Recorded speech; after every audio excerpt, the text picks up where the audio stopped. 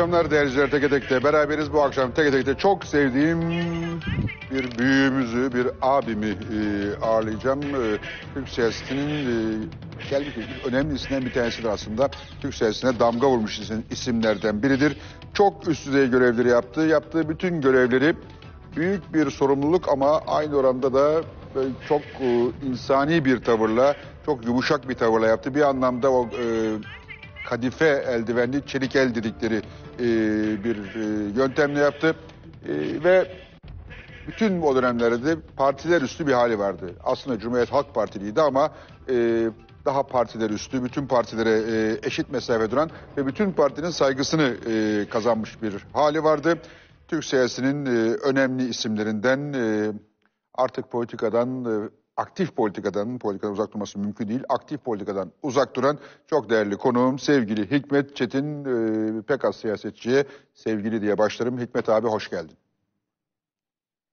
Hoş bulduk. Ee, seninle olmak çok güzel aslında. Ben uzun zamandır e, çok fazla televizyonlara çıkmıyorum. Biliyorum abi. Ee, ama seninle konuştuktan sonra bir sohbeti e, yaparız diye düşündüm. Vallahi iyi yaptın Hikmet abi. İyi ki geldin. Çok teşekkür ediyoruz e, katılımın e, için. Hemen şöyle başlayayım. Şimdi Türkiye'nin yine siyaseten sıkıştığı, yani dış siyaset açısından sıkıştığı bir dönem. Çeşitli komşularla bir sürü problemimiz var. Ee, Doğu Akdeniz, şu bu, bir sürü mesele var. Onların hepsini ufak ufak e, değineceğiz. Sen de hiç günlük politika konuşmak istemiyorum. Daha çok e, hem deneyim hem de sorun çözümüyle ilgili fikirlerini almak istiyorum ama e, kendi dönemine e, gidersek. Senin e, hatırladığınla, e, yaşadığın e, politik krizler içerisinde. Mesela seni en tedirgin eden ya buradan nasıl çıkacağız dediğimiz e, senin döneminde Türkiye'nin en önemli dış politika sorunları hangileriydi ve nasıl çözüldü o işler? Ş- şimdi e, aslında çok var ama iki tanesinin özellikle altını çizmek istiyorum. Ee, bir tanesi bağımsızlıktan hemen sonra e, Ermenilerin e, Karabağ ve Azeri toprağını işgal etmesi. Daha ilk günlerden karşılaştığımız konuydu. Evet. Çünkü e, biz e, Azerbaycan'ı ilk tanıyan ülkeyiz. Hem de diğerlerinden ayrı olarak. Ve daha bağımsızları Sovyetler Birliği tam dağılmadan resmen işgal başladı. Ve ilk günden itibaren en çok uğraştığım konulardan bir tanesi bu. Şimdi ayrıntısına girmeyeyim, sadece sırası başına söyleyeyim. İkinci önemli konu, o arada Sovyetler Birliği kansız dağıldı. Ve beklenmeyen bir şekilde kan dökülmeden gayet kansız bir şekilde koca bir Sovyetler Birliği dağıldı. Fakat Yugoslavya'nın dağılması çok kanlı oldu, çok acılı oldu. Orada da en çok sıkıntı çektiğimiz konu Bosna'nın durumu. Yani e, Bosna o kadar sıkışık bir durumdaydı ve o durumda bir e, özel anımı da anlatayım. E, yeni başlamıştı aslında savaşlar ve ayrı ayrı e, Yugoslav, Yugoslavya parçalanıyor. Eski Türkiye Büyükelçisi, Yugoslavya'nın Büyükelçisi aynı zamanda Dışişleri Bakanı olmuştu. Bana telefon etti. Dedi ki Milosevic'le beraber Ankara'ya hiç resmi olmayacak bir şekilde gelmek istiyoruz dedi. Tamam e, Sayın Demirel'le konuştum. Gelsinler dedi. Geldiler. Onları havaalanından özel olarak aldık. Ve dördümüz Sayın Demirel'in makamında oturduk konuşmaya başladık. Demirel o zaman başbakan. Başbakan. Demirel dedi ki geri dönülmez bir noktaya geliyor dedi. Yugoslavya'nın ayrılımı. Eski haliyle tutmanız olanaksız. Kan dökülmeden dedi. Kan dökülürse çok zor olur dedi bir arada tutmak. Kan dökülmeden daha esnek yani eskisinden daha esnek bir işbirliğine yaparsanız dedi diğer cumhuriyetlerle birlikte belki ayakta tutabilirsiniz. Aksi halde kan dökülürse bu çok zor olur. Ee, çok hoşuna gitmedi. Yani o hala bir büyük Yugoslav, büyük Yugoslavya'yı veya büyük Sırbistan'ı e, düşünüyordu. Ve e, aslında çok memnun olmayarak Türkiye'den gitti. Sonraki olaylar e, hepimiz biliyoruz.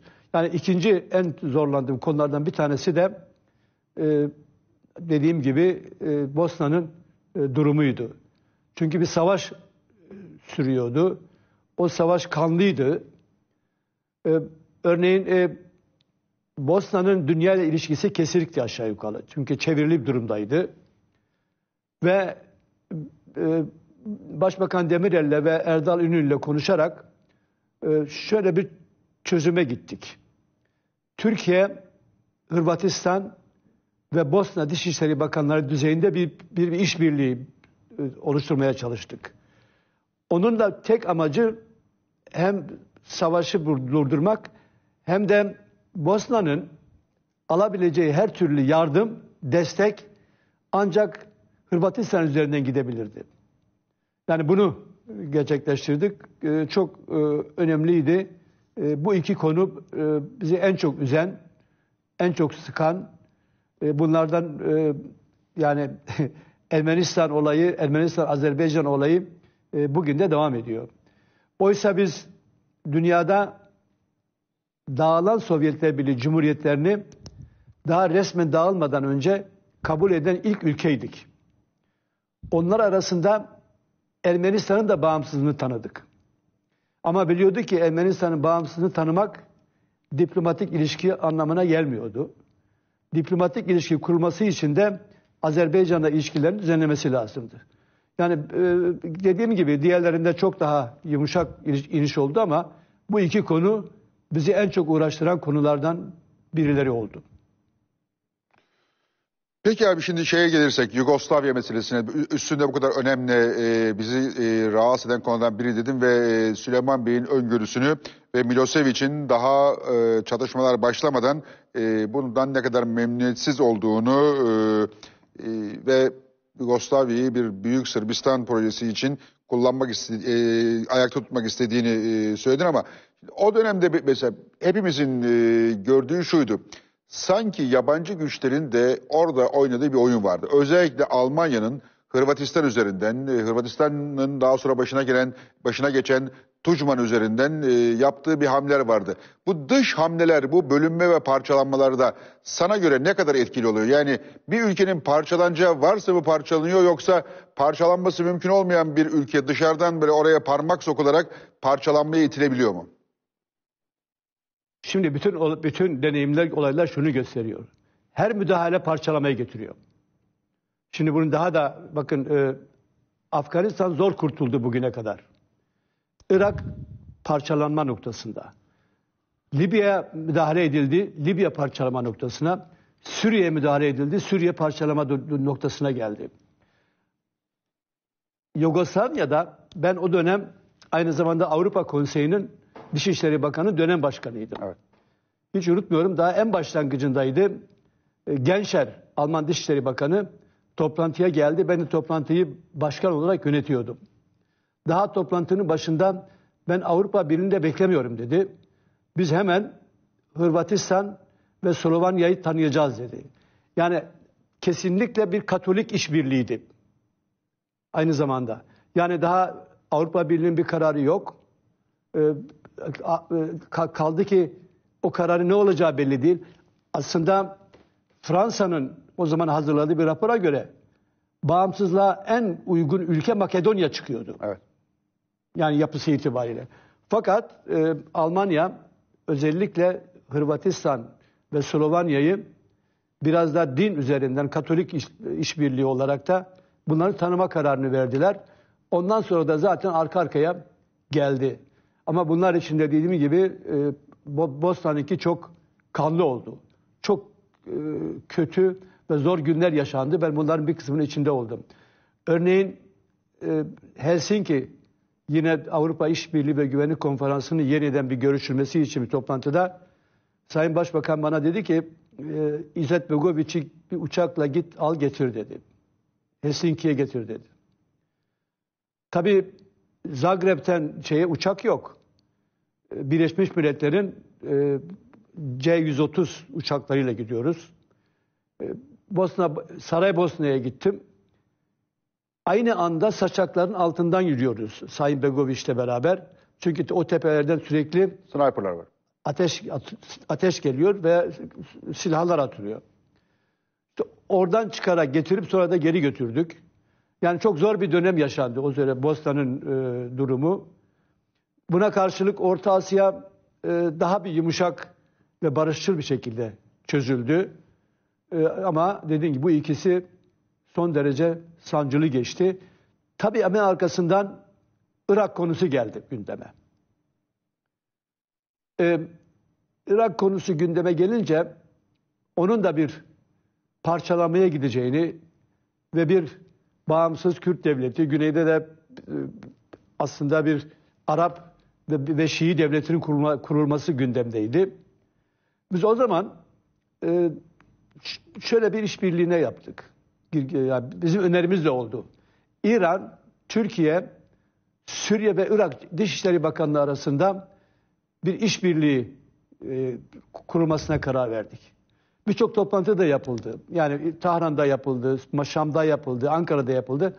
Amacımız da şuydu. Dünyaya şunu göstermeye çalıştık.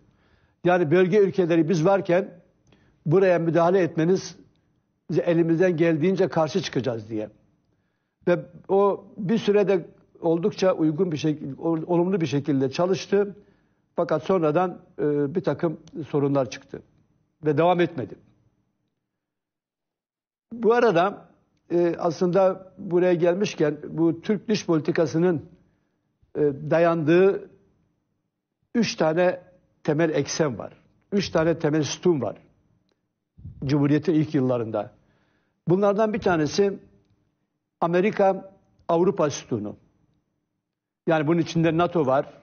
Bunun içinde sonradan Avrupa Birliği var, Avrupa Konseyi var. İkinci sütun Sovyetler Birliği ve sonra Rusya ve çevresi. Üçüncü sütun Orta Doğu. Yani bunlar üzerinde bir dış politika yürütülmüştür Cumhuriyet'in e, dış politikası. Bu arada e, mesela Atatürk'ün bir takım önemli sözleri var. Dışişleri Bakanı Genel Sekreteriyle yaptığı bir konuşmada e, şunu söylüyor. Bu kitap bir kitapta da çıktı bu. Özellikle Orta Doğu'da ilişkilerde ve Arap ülke dünyasıyla ilişkilerde şunları dile getiriyor. Söylediği şu. Bu ülkelerin iç işlerine katiyen karışmayacaksınız diyor. Kendi aralarındaki ihtilaflara da taraf olmayacaksınız diyor. Sormadıkları sürece akıl vermeye de kalkmayın diyor. Şimdi bu politika son zamanlara kadar gayet başarılı bir şekilde yürütülmüştür. Yani Cumhuriyet'in o ilk yıllarına baktığımız zaman e, bütün komşularla çok yakın işbirliği olmuştur. Buna bağlı olarak e, Atatürk hatırlanacağı gibi 1930'larda bir dünya savaşının çıkacağı tahminini yapıyor. Ve ona dayanarak o dönemde dünyada çok da bilinmeyen işbirliklerine gidiyor. Hatırla, yani hatırlarsınız belki veya hepimizin bildiği konu 1934 yılında Türkiye, Romanya, Yunanistan ve Sırbistan arasında bir Balkan işbirliğini kuruyor. Balkan Paktı. 1937 Balkan Paktı. 1937 yılında Türkiye, İran, Irak ve Afganistan'la beraber Sadavat Paktı'nı kuruyor. Yani oradaki e, amaç, hedef şu. E, bir savaş çıkarsa komşularıyla iyi ilişkileri ve onları bir araya getirmeye büyük bir özen göstermiş. Zaten ve bu dış politikanın bir temel hedefi de yurtta, yurtta barış, dünyada barış. Yani inanılmaz bir şey. Venizelos'un 1930'lu yıllarda Türkiye'yi ziyaret edeceğini kim düşünebilirdi Yunanistan'la olan savaştan sonra? 10 sene önce 4 gün kalıyor. gırtlak gırtlağa. O, o, o, yani kan dökülerek bir bağımsızlık kazanılmış. Ve Atatürk'ün dış, biz dış ziyareti yok ama Venizelos Türkiye'ye geliyor. Dört gün kalıyor. Hatta bir e, bir, bir ufak anekdot var. Çankaya'da köşte oradaki orada kalıyor. Sabahleyin Atatürk tıraş oluyor berberinde. Berberi Selanikli. Paşam diyor e, biz o kadar savaştık bunlarla. Neden diyor e, ziyarete gidiyorsunuz diyor. Onu tam e, söylediklerini bulmaya çalışayım. E, çok önemli bir laf söylüyor çünkü. Diyor ki bu bir devlet mesele, devlet sorunudur, devlet işidir diyor. Eğer biz diyor devletin sorumluluğun gerektirdiği bu işleri yapmazsa diyor tarih bizi affetmez diyor. Onun için diyor ben e, gitmek durumundayım ve gideceğim diyor. Yani böyle bir e, dönem yaşadı e, Türkiye. Yani kin yok, Zaten- tak- takma yok, takıntı yok, kişisel kişisel bir kızgınlık, öfke yok. Devletin için ne gerekiyorsa dün savaştığımda bugün otururum, icabında yemek yerim, icabında muhabbet ederim. Yeter ki ülkenin yararına olsun. Yani aslında dünyada örneği çok az olan Çok. bir şey. Ee, Fadi Bey çok çok kolay yani aradan çok zaman geçmemiş. 10 yıl bile geçmemiş daha Evet. aradan. Öyle yakın bir dönemde bu kadar yakın bir ilişki kurulabiliyor. Şimdi dış politikada bütün bu uygulamalara baktığımız zaman aslında e, çok önemli bazı şeyleri var, ilkeleri var. Cumhuriyet bunları uygula- uygulamıştır ve başarıyla uygulamıştır. Birinci özelliği, birinci ilke ideolojiye göre dış politika olmaz. İki, iç politika amacıyla dış politika olmaz. Yani iç, dış politika, dış politika, iç politikada kullanılmaz. Üç, başkasının iç işlerine karışılmaz. Değişmeyen tek ilke ülkelerin çıkarıdır. Ülke çıkarı gerektirdiği zaman bu bunların hiçbirisinin önemi yok. Önemi var. Onun için ben e, yani başarılı dış politika bu ilkelere özen gösterilerek, bu ilkelere dikkate alınarak e, yürütülmüştür. Yani iç işlerine karışmayacaksınız, ideolojiye göre yapmayacaksınız ve iş ve ve ve, ve, ve iş politikaya alet edilmeyecek. Bu hatta bu politikaya zaman zaman pasif politikada denilmiştir. Yani bunu çok zaman zaman. Ama bu politikayla Hatay kan dökülmeden alınmıştır. Bu politikayla Boğazlar Mon- Montreux Boğazlar Sözleşmesi yapılmıştır 1930. Çünkü o tarihe kadar e, Boğazlar bizim egemenlik Türkiye'nin elinde değil. Boğazlar Boğazlar Boğazlar Sözleşmesi. Türkiye'nin elinde değil egemenlik. Boğazlar komisyonun elinde. Yine bu şey yabancı komisyon elinde değil. Evet. Türkiye'nin hiçbir şekilde bir egemenliği yoktu. Fakat o Montreux Anlaşması ile e, o da çözümlemiştir. Kıbrıs Şimdi dikkat edilirse Kıbrıs'ta da barış için bütün yollar bütün yollar denendi. Hatta e, hatırlanacağı, hatırlanacağı gibi Başbakan Sayın Ecevit askeri bir uçakla, o zaman böyle uçak da yok doğru dürüst, ta Londra'ya kadar gitti. Yani Londra-Zürih anlaşmasının gereği olarak İngiltere ile beraber bir çözüm arayışı içinde oldu. O, oraya kadar gidip geldikten sonra onun olamayacağını, yapılamayacağını görünce ancak bir müdahale yoluna gidilmiştir. Yani orada da barış bütün özelliğiyle sonuna kadar e, dikkatle e, göz önünde tutulmuştur. Olmayınca zorunlu olarak Kıbrıs'a müdahale yapılmıştır. Peki Hikmet abi şimdi e, Kıbrıs müdahalesine e, geleceğiz ama mesela ondan öncesine baktığın zaman Cumhuriyet döneminin Osmanlı'yı saymıyoruz. Cumhuriyet döneminin temel dış politika hataları var mıdır? Mesela bugün e, hep e, konuşuluyor işte İsrail'i tanımak acaba erken miydi? Arap dünyasıyla ilişkilerimizi bozmamıza e, neden oldu. Hatta sırf e, bizim Orta Doğu Araplarıyla değil, Mağrip Araplarıyla da o yüzden aramız e, açıldı. Keza Cezayir'in bağımsızlık mücadelesine yeterince destek verilmediği için Cezayir ilişkilerimiz hala limonidir. E, işte gibi gibi bir sürü böyle ufak ufak ufak eleştiriler var. Sa- senin gördüğün o dönemlerin e, hataları nelerdir? E, neler doğru olmuştur, neler yanlış olmuştur? Keza Türkiye'nin NATO'ya girişi. Şimdi Buyurun. Cezayir'e destek olmamak yanlıştır. Yani Cezayir'in bağımsızlığına ki Atatürk'ü örnek alarak bağımsızlık savaşını yürütüyorlardı. Onlara e, destek olmamak yanlış bir politikadır. Ben İsrail'in e, tanınmasını e, yanlış bulmuyorum. Ama İsrail tanındıktan sonra 1949'da 1992 yılına kadar e, büyük elçilik düzeyinde ilişki olmamıştır. Evet. Filistin'den dolayı, Filistin davasından dolayı düşük düzeyde tutulmuştur. Ne zaman büyük elçiliğe çıkarıldı? Bizim zamanımızda yapıldı. Madrid ve Oslo görüşmelerinden sonra yani e, Şimon Perez'in e, Arafat'la olan ve sonradan olan görüşmelerde barış görüşmelerinden sonra aynı anda biz e, bizim hükümet döneminde hem buradaki Filistin temsilciliğini büyükelçi düzeyine çıkardık hem de İsrail'deki büyükelçimizi büyükelçilik düzeyine çıkardık.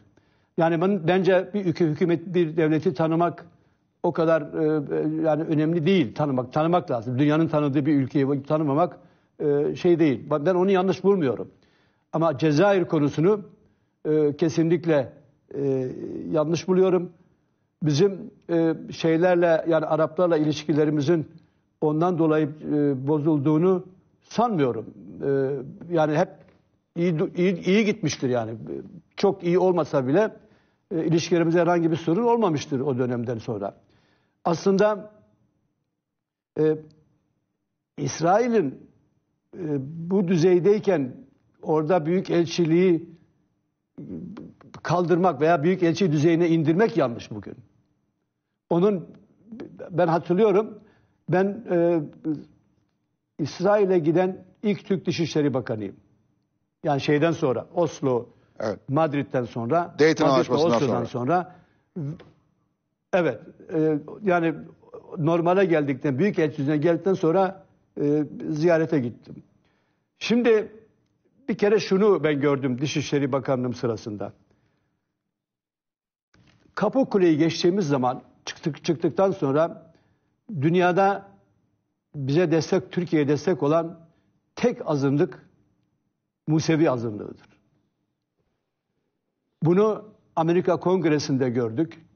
Bunu diğer zaman zaman e, ortaya gelen Ermeni soykırım olaylarında engellemeleri sürekli olarak Museviler yapmıştır. Çünkü tarih boyunca kötü ilişkiler olmamış. Beyazıt zamanında 1492 yılında ta o yıllarda düşünülerek İspanya ve Lizbon'dan ve şey Portekiz'den e, Osmanlı topraklarına getirilen Museviler var.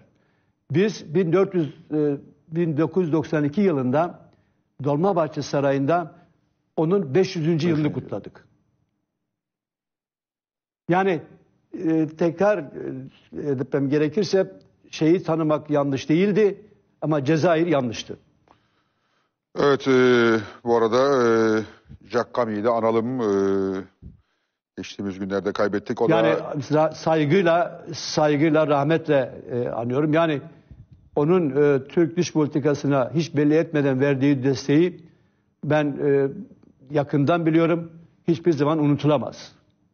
Ve hiçbir Aynen. zaman bunu böyle açıklama ihtiyacını duymamıştır. herhalde hiçbir bir, Türk e, vatandaşının dış söyleyeyim. politikada bu denli büyük e, Türkiye'ye yönelik çabası olmamıştır. E, gecesini gündüzüne kattı. Hayır. Hatta o yüzden suikaste kurban gidiyordu adam. Evet hiçbirimize hiçbirimiz onun kadar yapmadık. Evet. Hatta bir e, an- anımı daha söyleyeyim.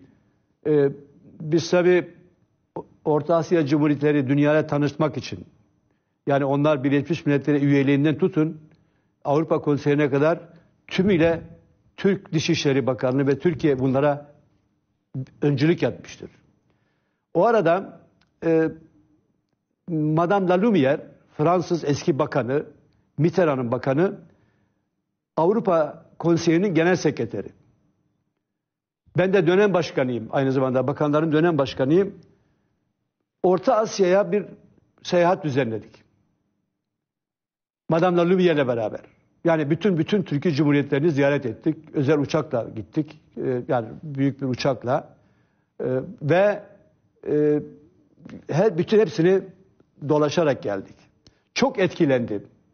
Ve ondan sonraki dönemde Gümrük Birliği'ne Avrupa Konseyi'nde destek olmaya başladı. Cakkami beni aradı. Dedi ki Sayın Bakan ne yaptınız dedi. Ne dedim? Dedi ki ben bakanken Fransa'da Sayın Mitterrand'la kaç defa görüştüm.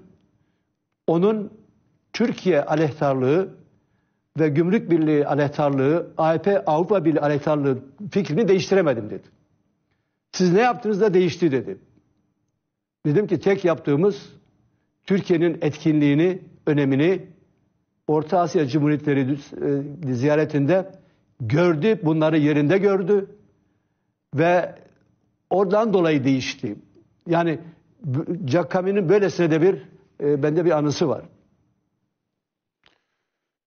Peki Hikmet abi şimdi yeri gelmişken e, Cakkami'den bahsettik. Cakkami e, Musevi lobisini Türkiye lehine e, harekete geçirme konusunda en etkili Türk vatandaşıydı. E, hakikaten e, devletin, e, Türkiye Cumhuriyeti Devleti'nin e, bir anlamda borçlu olduğu isimlerden bir tanesiydi. Ancak Türkiye'nin şöyle bir zafiyeti var ve bu zafiyeti hiçbir zaman aşamadık. Yani ne sizin dönemlerinizde ne şimdi ne ondan öncesinde. E, Türkiye'nin bir lobi gücü. E, Türkiye'nin e, Avrupa'da yaşayan bugün sayıları 7 milyon bulan vatandaşı var. Amerika'da sayıları çok yüksek olmasa bile birkaç yüz bini aşan e, bir e, Türk vatandaşı e, grubu var. E, ama bunların hiçbirinden Türkiye bugüne kadar e, bir lobi gücü, bir e, etkin faaliyet alanı olarak yararlanamadı. Buradaki e, sorun nedir? Türklerin e, bu konudaki vurdum duymazlığı mı? Bizim organizasyon beceriksizliğimiz mi? Yoksa e, bir imparatorluk bakiyesi olarak bunlarla uğraşmayı e, devletin kendisine çok küçük bir mesele gibi görmesi mi? Niye bizim e, bunca etkili e, olabilecek e, sayısal anlamda e, yurt dışında yaşayan vatandaşımız varken e, yerleşik Türkiye bunları organize niye edemez hiçbir zaman? Bu bir politika mıdır yoksa bir beceriksizlik midir? Şimdi bana göre hepsinin karması. Şimdi ayırmak da lazım. Şimdi Almanya'dakiler şunu gördüm. Türkiye'deki ayrımcılığı özellikle dini alandaki ayrımcılığı kesinlikle oraya taşımışlar. Mesela aynı aynı camiye gitmiyorlar. Ya ben bunu gördüm. Yani bir, bir mahallede e, bilmem falan e, cemaat tarikattan veya falan cemaatten olanların camisi başka, falan cemaattekilerin camisi başka. Kes, bunu ayrımcılığı ben bakanlığım sırasında da sonraki dönemde de 1978-79'daki başbakanın yardımcılığında da gördüm. Bu o ayrımcılık tümüyle devam ediyor. Almanya'nın büyük probleminden bir tanesi bu. Yani biz Türkiye'deki iç çekişmeleri oraya taşıdık. Yani bana göre yaptığımız en büyük yanlışlık bu. Orada Türkiye, tüm Türkiye yoktu çoğunda. Yani hepsi öyledir demiyorum.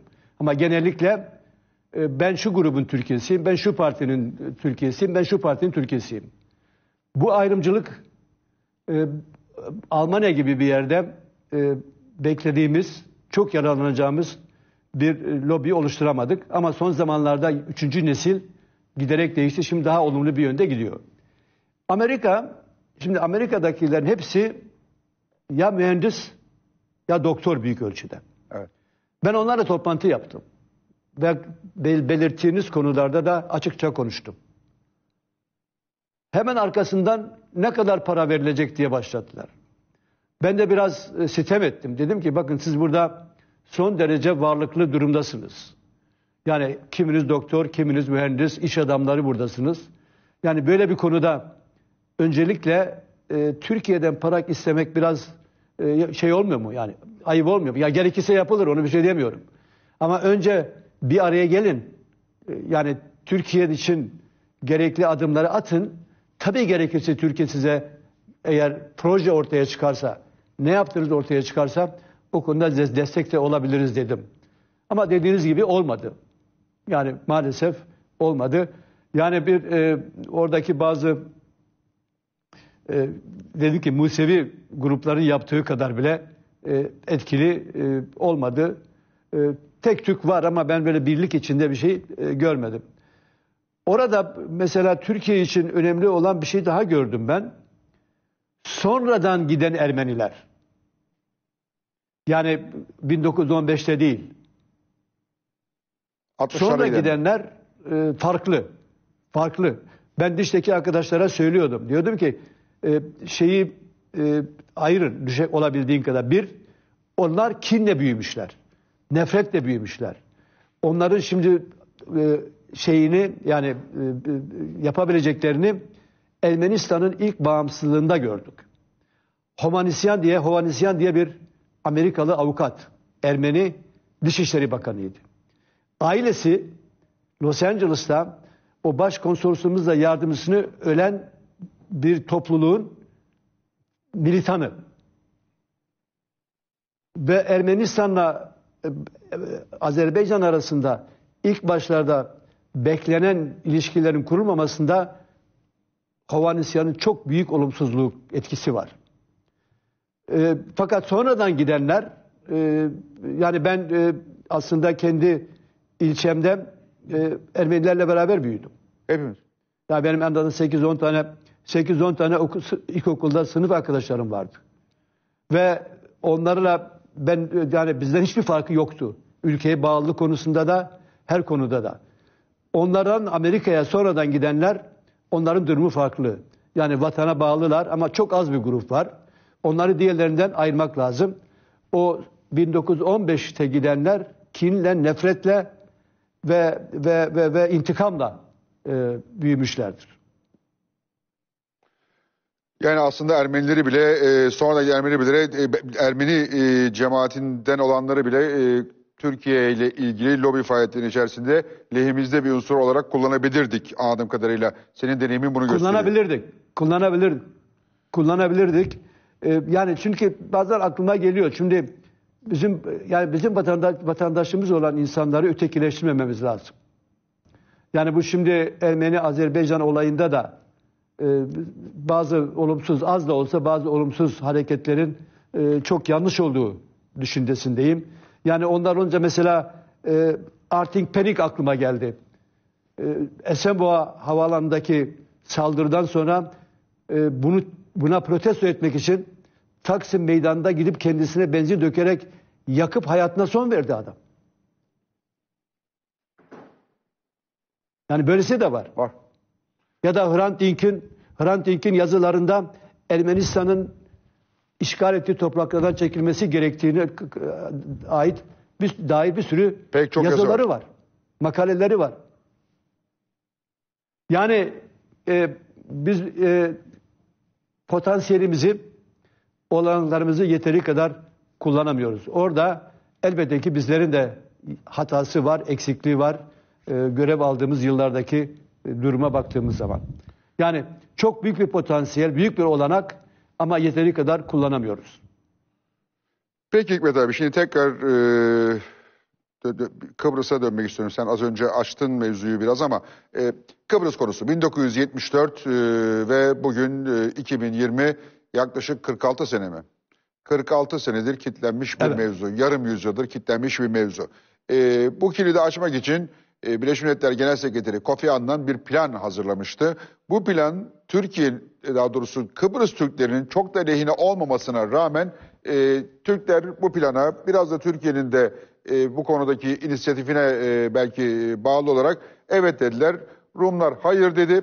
Ancak buna rağmen Rumlar hayırları sanki ödüllendirilmiş gibi Avrupa Birliği'ne al- alındılar ve o Avrupa Birliği'ne girişle beraber Kıbrıs'ta çözüm e, hayali hemen hemen suya düştü. Şimdi Kıbrıs'ın Cumhurbaşkanı Sayın Akıncı'nın bir cümlesi var. Diyor ki e, yakın zamanda bir cümlesi. Diyor ki biz e, anlaşmak için sahip olduğumuz topraklardan bir kısmından vazgeçmeliyiz. Sana göre bu saatten sonra Kıbrıs'ta bir çözüm ihtimali var mı ya da nasıl bir çözüm olabilir ya da olmalı mı? Ee, Kıbrıs'la ilgili hatalarımız ve sevaplarımız nelerdi? Kıbrıs nereye gidiyor? Anlam planına evet demek doğru muydu? Yoksa reddedilmesi Türkiye'nin lehine mi oldu? Bir Kıbrıs penceresi e, Hikmet Çetin tecrübesiyle ne olur ve ne olmalı bundan sonra? Şimdi bir kere hemen yapılan en büyük yanlışı Avrupa Birliği yapmıştır Fatih. Kesin. Yani Avrupa Birliği bu konunun çözülmesini sağlayabilirdi. Yani bir çifte standart aranıyorsa bunun en açık örneği budur. Yani başka ülkelerin aralarındaki en ufak bir e, aslında e, ihtilafı çözmeden ben sizi üye yapmam derken ki bunu Slovanya'da yaptı, başka birçok ülkede yaptı. En büyük fırsat orada kaçtı. Eğer Avrupa Birliği Kıbrıs Güney Rum yönetimine Kıbrıs sorunu çözülmeden sizi üye yapmayız deseydi bu konu o zaman çözülebilirdi. Fakat maalesef en büyük yanlışı ve çifte standardı onlar yaptı. Şimdi sonra e, çok ayrıntıya e, git o aşamaları sen anlattın ona da bir daha girmeyeyim. Şimdi eğer başından beri çünkü ben e, planlamada İktisadi Planlama Daire Başkanı iken ikinci harekattan dört gün sonra e, Maliye Bakanı olarak Deniz Baykal'la ve e, e, Korkut Özal'la Tarım Bakanı olarak helikopterle şeye gittik. E, Kıbrıs'a gittik. E, yani daha yeni ikinci harekatın hemen sonrasında. Şimdi Mustafa Akıncı başından beri çözümden yanaydı. Evet. Şimdi Akıncı'nın bu dört yıllık dönemindeki tüm çabalarına rağmen çözülmediyse bence bunun tek bir yolu kalıyor. Bağımsız Kuzey Kıbrıs'ı dünyaya tanıtmaktan başka ben bir çözüm e, göremiyorum şu anda. Yani başka hiçbir hepsi denendi, her aşamadan geçti fakat maalesef olmadı. Onun için ben e, bundan sonra bence e, bağımsızlık konusunda ağırlık vermenin zorunlu olduğuna inanıyorum. O düşünülen konfederasyon olur mu olmaz mı e, bilemem ama e, hepsi zor görülüyor. Çünkü Akıncı başından beri e, çözümden yana bir arkadaşımızdı. Ben e, dediğim gibi ikinci harekattan hemen sonra e, Lefkoşa'daki Saray Oteli'nde o zaman orası bir karargah gibiydi gençlerin. Orada e, gördüm. E, orada o zaman da e, konuşmuştuk. Yani onun bile e, zamanında çözülemediğine göre ben bunun çok zor olacağına inanıyorum. Olağanüstü bir şey olmasa çözümünü çok çok zor görüyorum. Bir kere öyle bir şey ki tam çözüme geliyorsunuz birinde seçim çıkıyor.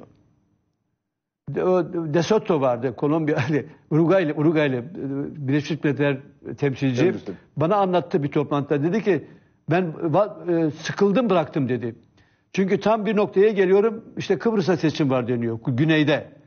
Bir başka şeye geliyorum Türkiye'de seçim var, Yunanistan seçim var, Kuzey Kıbrıs seçim var.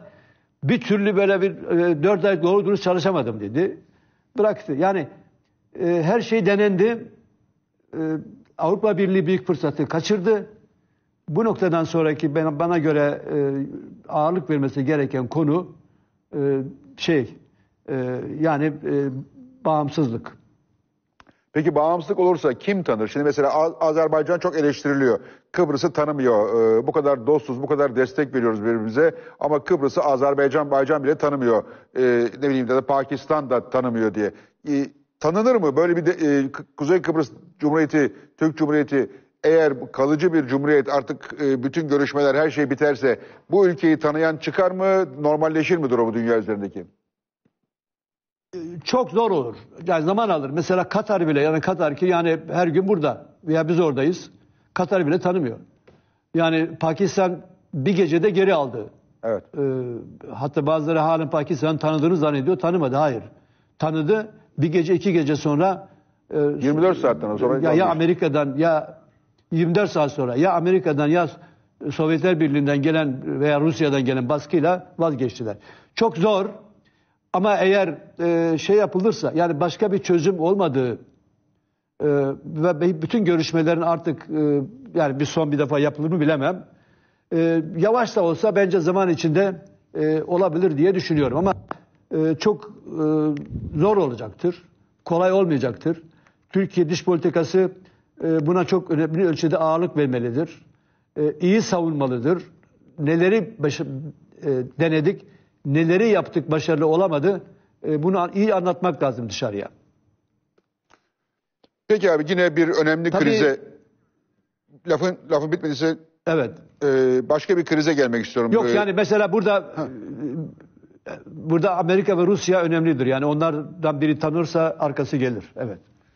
Başka bir krize gelmek istiyorum abi. Senin e, yine aktif e, olduğun dönemdeki kriz, önemli krizlerden bir tanesi. Kardak krizi. E, Kardak bir küçük kayalık e, ve o krizin ortaya çıkışının nasıl olduğunu ben çok içinde yaşadığım için biliyorum. E, Yunanlılar bir, bir grup gazeteciye orada bir bayrak diktirdiler kayalıklara. Bunun üzerine Hürriyet gazetesi o zaman benim de e, mensup olduğum Hürriyet gazetesinden bir başka gazeteci gru- grubu gidip e, Yunanlı gazetecilerin ve bir papazın diktiği e, bayrağı indirdi.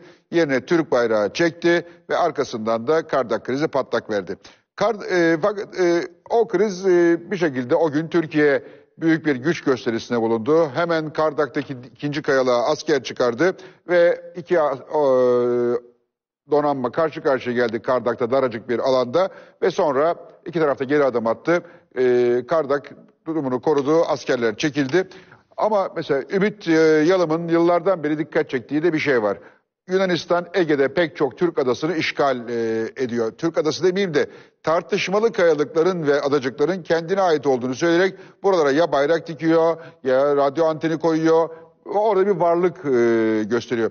Türkiye ise burada pasif kalıyor deniyor. Türkiye hakikaten pasif mi kalıyor? Pasif kalması bir gerekçesi var mı? Bu gibi krizlerde e, Türkiye acaba daha proaktif rol almalı mı sana göre? E, şimdi e, bir kere Yunanistan başından beri Lozan Anlaşması'nın e, ilkelerine, kararlarına karşı durarak silahsızlandırılması gereken adaları silahsızlandırmıştır. Ayrıca bu süre içinde ya gri alan olan ya da Türkiye'de olduğu sanılan kayacık veya adacıklardan 18 tanesini yeniden yani o e, 12 ada ve Ege adaların dışında olan bu adaları da e, demin belirttiğin gibi kendi adası olarak bunları silahsızlandırdı.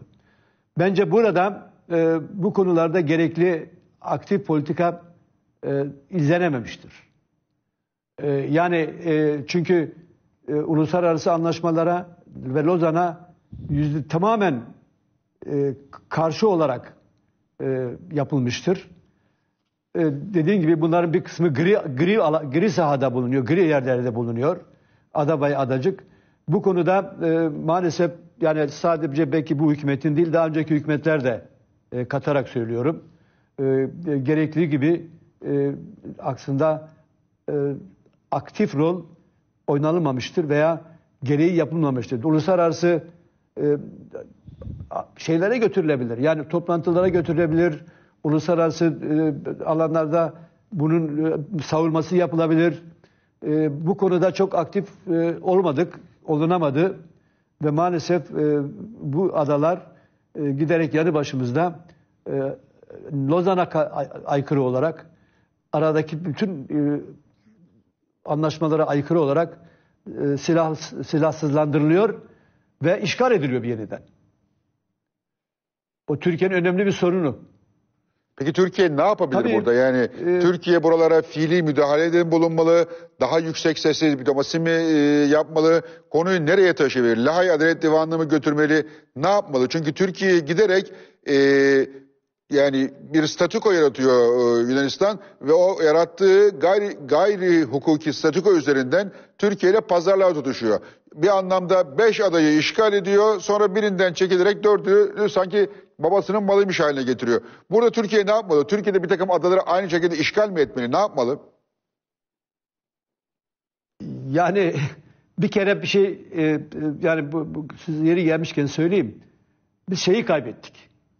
Yani milli olması gereken politikalarımızı kaybettik e, Fatih Bey. Yani e, çok çok üzüntü verici bir olay. Yani e, Kıbrıs konusunda ki yani milli bir konu olması gerekirken e, birlik yok. Bu adalar konusunda bir birlik olması gerekirken yeteri kadar birlik yok. E, Veya varsa da bile çok böyle genel laflarla var. Yani bu konuların aslında bir kere Türkiye'nin bir milli meselesi haline getirmek lazım. Yani Ama bu hükümetlerin işi değil midir yani? Türkiye'nin bir hükümetlerin işi tabii. Hükümetlerin işi yani e, hükümetlerin bütün siyasi partileriyle bir araya getirilerek bilgi verilerek bunu bir e, üzerinde hepimizin anlaşacağı, herkesin anlaşacağı bir ulusal konu haline getirmesi lazım. Yani birbirlerini eleştirilerek bu işin içine çıkamayız. Bunun sadece bu değil. Yani her ülkenin ulusal bazı konuları vardır. Onların ulusal olabilmesi için birlikte konuşmak, birlikte bir araya gelmek ve bunlar üzerine konuşmak lazım. Yani önemli bir konu, e, kolay çözülecek gibi de görünmüyor. E, Çünkü Ege konusu içinden çıkılmaz bir konu aslında. E, Türkiye ile Yunanistan arasında. Yani ka- karasuları var, kıta sahanlığı var, istikşafi görüşmeler böyle yıllarca devam eder, hiçbir sorun çıkmaz. Ee, işte fır hattı var. Yani öyle garip bir şey ki kara suları 6 mil havaya çıktığı zaman 10 mile çıkıyor. Ve tabii sürekli bu, e, ihlaller oluyor hava şey bu, bu konularda. Yani Ege'nin bir e, tümüyle bir paket olduğunu e, yani e, kara suları Doğu Akdeniz ki Doğu Akdeniz e, kıta sahanlığı ve adaların silahsızlandırılması. Yani Türkiye ile e, Yunanistan arasında gerçek bir barışın sağlanması ancak bu konularda bir uzlaşmaya varmakla olabilir. E, orada da maalesef e, gerekli adım atılamıyor. Yani gerektiğinde e, yani çok zorunluysa işgale de gidilebilir mi? O da yapılabilir. Yani Kardak'ta yapıldı o sırada. Yapıldı. Yani küçük küçük bir yerde ama e, savaşın eşiğine getir, getir geldi Türkiye ile Yunanistan. Amerika'nın müdahalesiyle e, orta durduruldu. Başka zaman kim nasıl müdahale eder onu bilemem ama e, bu konu ciddi bir konudur. E, Lozan'a da aykırıdır. E, bunu mutlaka e, üzerinde ciddi bir şekilde durmamız lazım. Yani ben bu konuyu biraz şeye benziyorum. bir de şey var. Buyurun abi buyurun. Efendim? Buyurun buyurun.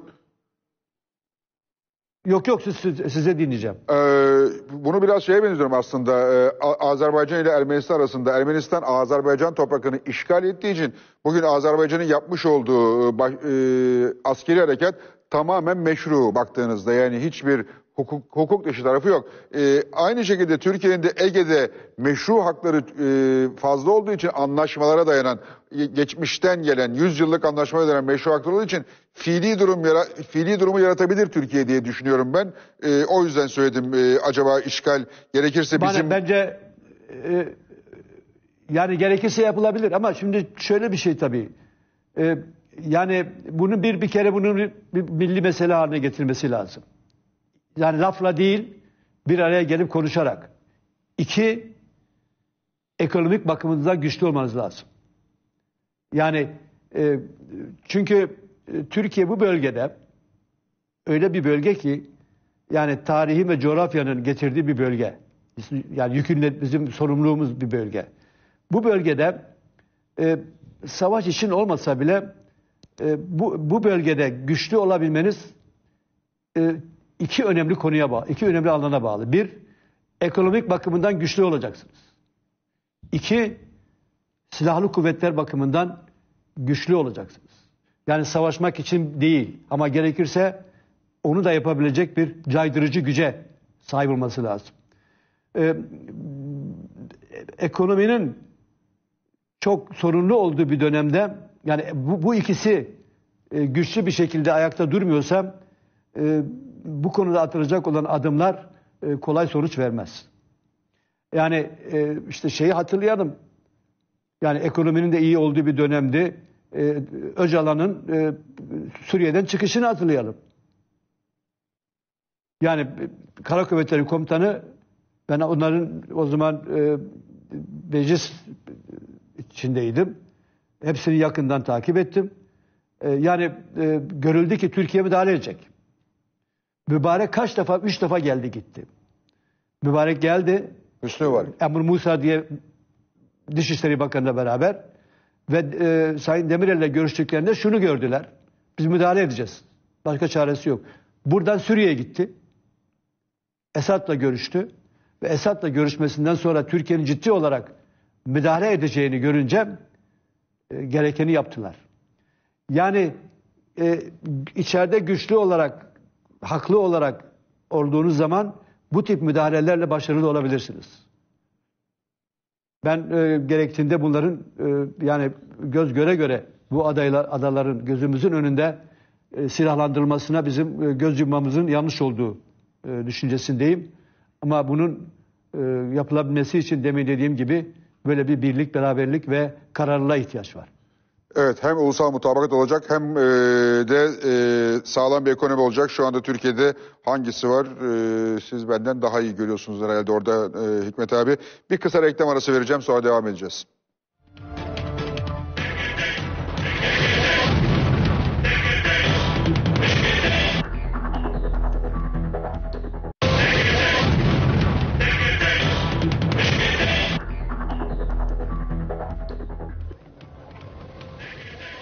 Sevgili değerli Hikmet abi, e, bazıları demişler ki niye e, sizli bizli değil de senli benli konuşuyorlar.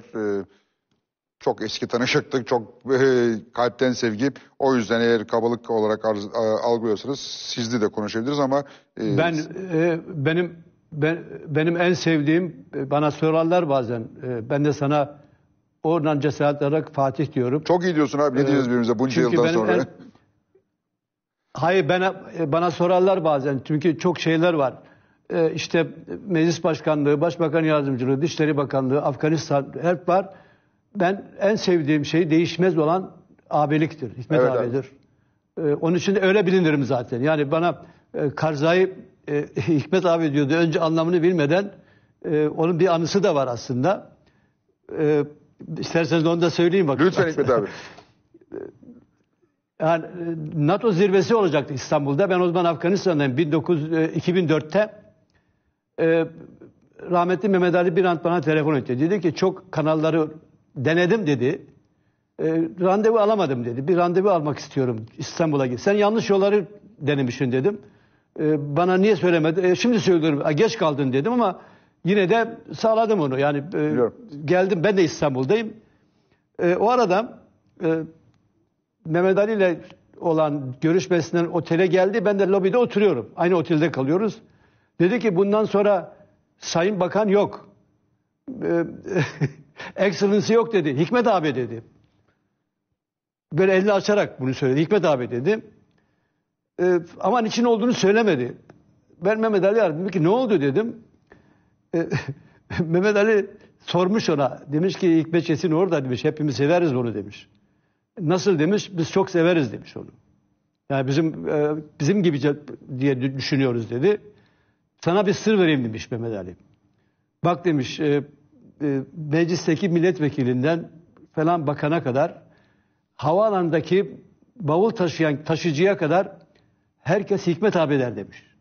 Ne ne diye soruyor bu Mehmet Ali. Mehmet Ali tekrar diyor ki Hikmet abi der diyor. Oradan alarak onu söylüyordu.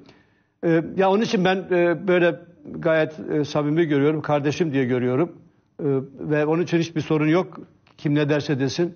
e, Hikmet abi ve Zaten Fatih sorun olarak- olduğunu bilsem demem Yani abi. Ee, ben de sorun Ya olmadığını gen- bildiğim için... genç olsaydın gen, genç olsaydın ben sana abi derdim ama Biliyorum zaten sen onu tercih Şimdi ederdin ben, büyük e, ihtimalle. ki Bir, bir, bir 30 yaş genç olsan da diye e, hepimiz onu tercih ederiz tabii. Senin hala genç olmanı ve hala siyasette çok çok çok çok daha aktif olmanı hepimiz e, tercih ederiz. Çünkü senin gibilere hakikaten ihtiyaç Çok- e, çok her teşekkürler. zaman çok var.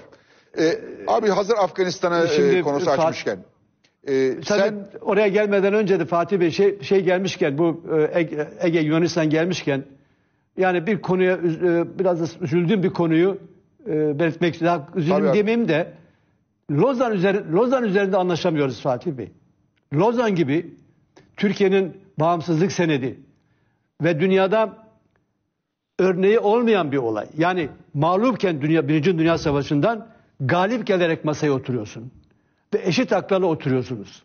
Şimdi Lozan değerlenirken bazıları 1920 koşullarını bir tarafa bırakarak bugünkü koşullarda konuşuyor. Bazıları e, bir algıyla Osmanlı İmparatorluğu'nun şaşalı devrini düşünerek yani sanki onlar o şaşalı devir varmış gibi. Sanki kanuni zamanıymış E, gibi. Yani evet 30 Ekim 1918 e, e, Mondros Anlaşması'yla teslimiyet bayrağı çekilmiş. 10, Şuba- e, 10 Ağustos 1920'de Sevr Anlaşması imzalanmış ve siz bu, bu koşullarda savaşarak gidiyorsunuz. Şimdi bir kere yani bu üzün, hepimizi üzen bir olay. Yani böyle bir olay Lozan üzerinde bile işte 100 yıldır süresi bitiyor diyenler var. Başarısızdır diyen var. Şimdi ben yine çok tartışılan iki konuya tekrar açıklık getirmek istiyorum. Birisi Ege Adaları, biri 12 Adalar. Şimdi çok açık ve net e, söylemeye çalışacağım. Yani şeylere dayanarak, vesikalara dayanarak. Ege Adaları Balkan Savaşı sırasında 1912'de Yunanistan tarafından işgal edildi.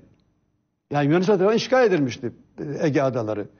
Ve 1913 Londra, 1913 Kasım ayında Atina anlaşmalarıyla Osmanlı İmparatorluğu döneminde Yunanistan'a bırakılmış. Bunların tarihi bu. Yani Türkiye'nin elinde değil. Orada Türk de neredeyse yok. Tamamen Yunanistan olmuş. Bitmiş o iş. İkincisi 12 ada. Bir kere bir şey daha. 12 ada 12 ada değil tabii. Yani sayı olarak 12 ada değil. daha fazla bir ada. 12 ada Mustafa Kemal'in, Enver Paşa'nın Libya'da ki İran, İtalya ile olan savaş sırasında 1911 tar- 11 yılında İtalya tarafından işgal ediliyor. Ve burada dikkat çekerek bir şey söyleyeceğim. 12 Ekim 1912'de Osmanlı ile İtalya arasında Lozan'ın Lozan'ın Uşi Uşu Anlaşması. diye bir mahallesinde Uşi Anlaşması yapılıyor ve İtalya'ya bırakılıyor. Şimdi üzülerek söylüyorum. Bazıları ciddi ciddi televizyonlarda Lozan Anlaşması'yla verildi deniyor. Yani Uşi Lozan'ın bir mahallesi. Ona hatta Lozan 1 diyenler de olmuş. Ama onu bırakarak 12 adalar Lozan'la verildi denince de bütün algı sanki Türkiye'nin elindeydi ve Lozan'dan bunlar verildi. Ki dediğim gibi Uşi siz belki daha da Fransızca olarak daha da Uşi deniyor herhalde. Uşu. Ee, yani şeyin şeyin bir mahallesi. Lozan'da Lozan'ın bir mahallesi. Uşu semtinde Yani yapılmış bir anlaşma. Oradan da onlar da Lozan, Lozan'da verildi deniyor. Lozan Anlaşması'yla gitti diyorlar. Şimdi yani burada da bile uzlaşamazsak hangisinde uzlaşacağız? Yani Lozan iyi taraflarıyla kötü taraflarıyla hepimizindir. Zaten bizim e, siyasette de e, yani pek girmek istemiyorum ama iki şeyi söylemek istiyorum yeri gelmişken. Ben ona iki kutsalımız diyorum. İki tane hepimizin olması gereken iki şey var. Biri Mustafa Kemal Atatürk, birisi inanç. Bu ikisinin de siyasetin hepimize ait bir şey bunlar. Yani bu iki konuyu günlük siyasetin dilin, or- dilinden çıkartmadığımız sürece ben siyasette de e, gerekli olan uzlaşmanın işbirliğinin sağlanamayacağı kanısındayım. Yani bunlar ikisi de bizim ben e, başka bir kelime bulamadım. Belki daha e, iyi bir kelime olabilir ama ben bizim bütün hepimizin kutsalı diye e, görüyorum. Bunları hepimizin benimsemesi gerekir. Hepimize ait bir konudur. Bunları günlük siyasetin şeyinden çıkartmamız lazım. Maalesef hala bunlar e, insanlarımızı belen nok- noktasına getiriliyor. Yani inanç da Atatürk'te. Onun için e, bu ikisinin e, bu günlük siyaset dilinden ve tartışmadan çıkarılması lazım. Tartışılmaz Bu ortak değer de olarak belirlemek bir- lazım ve hiç konuşmamak lazım herhalde. Ortak değer. Evet, bu ortak değerlerimizdir. Bunlar konuşmamak. Siyasetin günlük kart tartışmalarına katmamak lazım. Peki abi şimdi izleyicilerin Pardon, çok Afganistan'ı diyordum. izleyicinin bununla ilgili çok e, sorusu e, var. Senin Afganistan e, dönemin Afganistan görevin. E, sen e, benim bildiğim kadarıyla böyle bir göreve atanan, e, böyle bir en üst düzey göreve atanan ilk ve tek Türksün. E, tek dip, tek Evet. Türk diplomatısın. Üstelik de e, meslekten Birleşmiş Milletler diplomatı olmadığın e, halde. E, Afganistan'daki görevin neydi? Niçin seni seçtiler o görev için? Dünyada bunca diplomat, e, çeşitli devletlerin onca e, diplomatı veya işte e, siyasetçisi varken hik- niye Hikmet? Kendini anlatmak elbette zor olacaktır biliyorum ama yani niye seni seçtiler ve Afganistan'da ne yaptın? Görevin neydi? Şimdi e, kısaca söyleyeyim çok uzun hikaye. Şimdi bana e, Dışişleri Bakanlığı'ndan e, o zaman e, müsteşar yardımcısı olan sonradan müsteşar olan Ali Tuygan telefon etti bana. Dedi ki Sayın Bakanım dedi e, e, şey NATO bir önemli sivil temsilci arayışı içinde dedi. Ve bizim tahminimize göre bakanlıkta eğer sen aday olursan e, seçilebilirsin dedi. Dedim ki ben benim için yeni bir konu. Bilmediğim bir yer, bilmediğim bir olay. Ve askeri tarafı var iç içe. E, çok ısrar edince de dedi ki ilk defa böyle bir fırsat düştü. E, yani olabilir diye. Dedim ki ben başvurmuş ve kabul edilmemiş durumuna düşmek istemiyorum. Çünkü ülkeler aday göstermiyor kişiler olarak. Yani ülkeler tabii ki destekleri oluyor ama dedim ki ben e, istemediğim bir konuda başvurmuş ve kabul edilmemiş durumuna düşmek istemem dedi. Hiç merak etmeyin dedi. Biz gerekirse bütün e, araştırmaları bakacağız. Gerekli arkadaşlarımız her başkentte bakacak. Onun olabileceğini söyledi olduğu zaman size başvurun diyeceğiz dedi. Başvuracağız dedi. Ona peki dedim. Unuttum da aradan zaman geçti. Ee, Bir gün ben e, Aydın Doğan'la beraber e, bir toplantı için İsrail'e gideceğiz. Ben Ankara'dan gideceğim. Ee, İstanbul'da VIP'de buluşacağız. Aydın Bey, ben, başka arkadaşlar da vardı. Beraber bir toplantı için e, İsrail'e gideceğiz. Sabah erkenden gittim. Ben Aydın Bey hatta hiç unutmam. Ga- Gazeteyle geldi. Milliyet o zaman şeydeydi. e, Aydın Bey'deydi. Dedi ki ya bize her şeyi saklıyorsunuz. Bunu nasıl saklıyorsunuz bize? Neyi sakladın efendim dedim. "E, Görme ben gazete falan görmedim dedim. Gazetenin e, ben oradan öğrendim. Gazetenin böyle en baş kö- köşede Milliyet'in haberi işte Robinson o zaman NATO Genel Sekreteri e, Bush'la görüştü ve Hikmet Çetin'in NATO'ya temsilcisi olarak e, Afganistan'a gitmesi onaylandı. Öyle e, öğrendim. E, sonrasında tabii e, gerek o zaman Dışişleri Bakanı olarak e, Abdullah Bey, e, gerek e, Başbakan olarak e, Sayın Tayyip Tayyip Erdoğan, evet Tayyip Bey'in ziyaretlerimde her türlü desteği vermeye hazır olduklarını, her konuda e, yani bir istek olursa telefonla e, kendilerini arayabileceğimi söylediler E, ve e, öylece gittim. Tabii yeni bir şeydi ama bir kere şunu gördüm. Türklerin oradaki itibarı başka hiçbir ülkede yok. Pakistan falan dahil. Bunu ben yaşayarak gördüm. Zaten Atatürk bunu görmüş. O zamanki yani nasıl olabilir ki e, yani Afganla, Afganistan'la e, Türkiye iliş, Os- ilişkisi, Cumhuriyeti ilişkisi inanılmaz bir şey. Yani 1920 yılında Rusya'dan sonra, o zaman Sovyetler Birliği'nden sonra meclis hükümetini tanıyan ilk ülke Afganistan. Türkiye'de hemen arkasından bir yer elçilik açıyorlar. Atatürk bizzat ziyaret ederek bayrak çekilmesine bulunuyor. Böylesine bir yakın ilişki olmuş. Türkiye'de 40 tane mülkiye mezunu Afgan Afganlar olduğunu gördüm listede. Harp okulundan mezun olanlar var.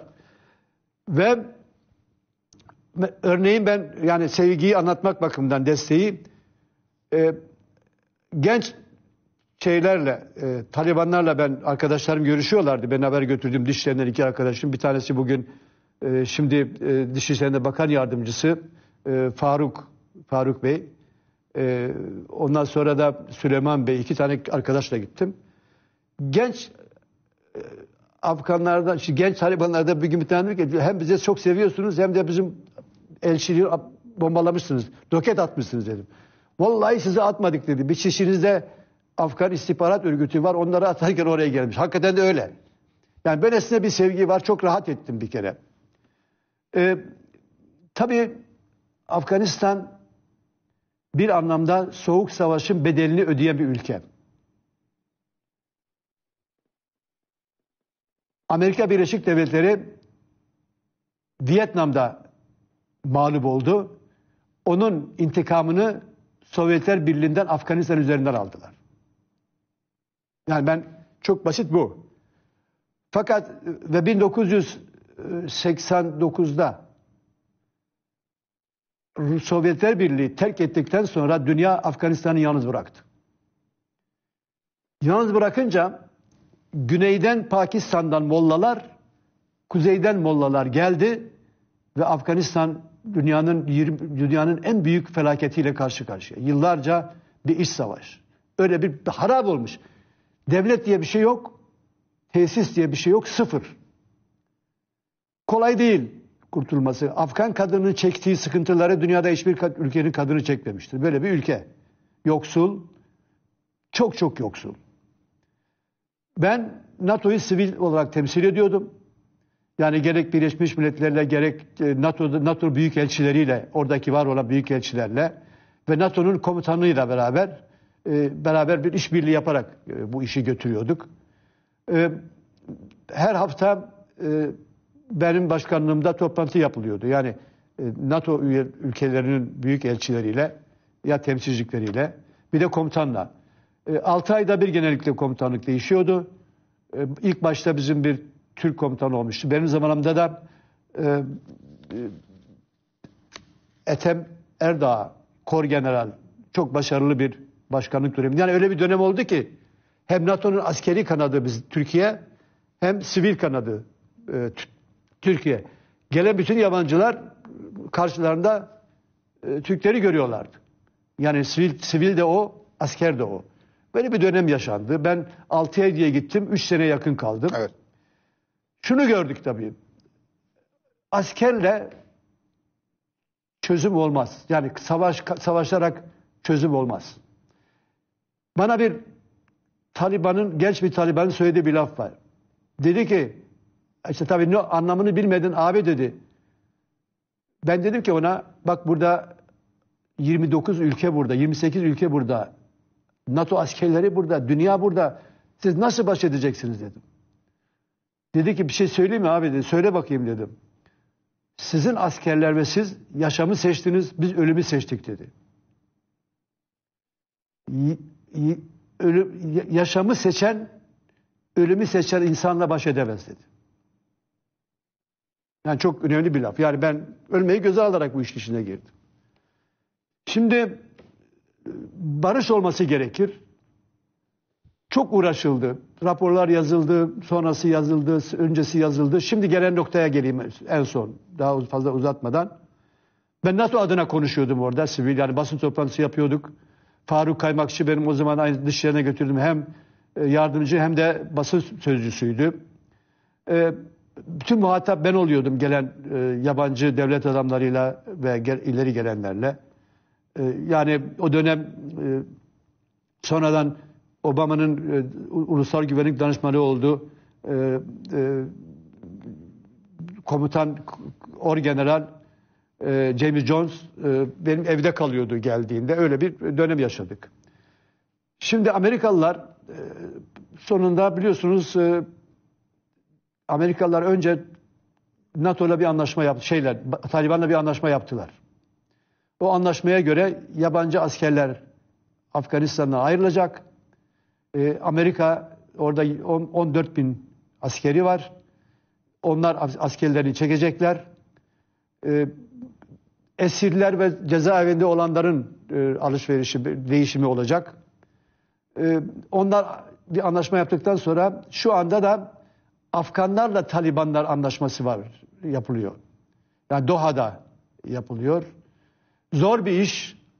Çünkü kırmızı çizgiler var iki tarafın.